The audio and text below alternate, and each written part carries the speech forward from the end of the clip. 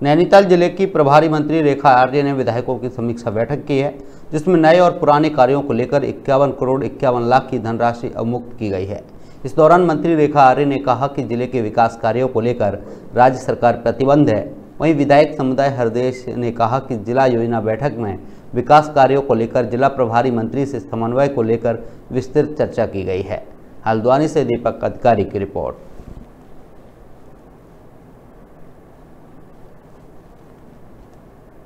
जो बजट आवंटित 55 करोड़ का हो पाया है, उससे सारी समस्याएँ नैनीताल ज़िले की पूर्ण हो जाए, संभव नहीं है। लेकिन विस्तार पूर्वक माननीय मंत्री जी ने सबकी बात सुनी और पारदर्शी तरीके से मीडिया भी मौजूद रहा। आप सब, आप सबके सामने सारी गतिविधि हुई।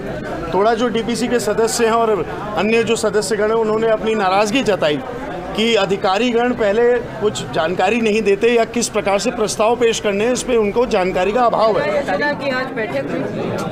इक्यावन करोड़ इक्यावन लाख की धनराशि के साथ में उसको बजट आवंटन हुआ। उस बजट आवंटन में हमारे कमिटेड एक्सपेंडिचर के साथ साथ में जो पुराने अवशेष कार्य थे उस मद में धनराशि अवमुक्त की